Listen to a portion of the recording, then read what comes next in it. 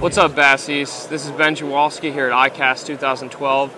Uh, recently, we won a tournament. Uh, we won the uh, College Bass Fishing National Championship, uh, my partner Ethan Cox and I. And I just want to talk to you guys about something that, that really was a key factor in us winning this event. A lot of people, when they go fishing, especially with crankbaits, they just take it out of the box and they throw it. They might tune it a little bit, uh, but they never really, really modify their crankbaits very much.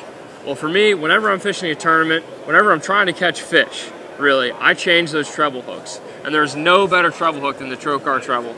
Uh, they have a round bend and this extra wide gap variety.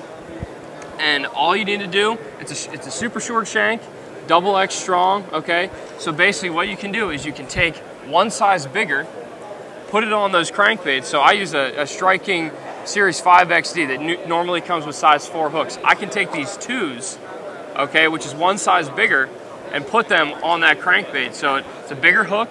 You're going to catch more fish. They're the sharpest hook on the market. And bottom line is when, when the money's on the line and you want to you want to win a tournament, every fish counts. You you've got to have a Trokar treble on when you're throwing a treble hook bait. Um, and that's that's all I got for you guys. Uh, thanks for tuning in. This is Ben Jawalski, ICAST 2012, BassEast.com.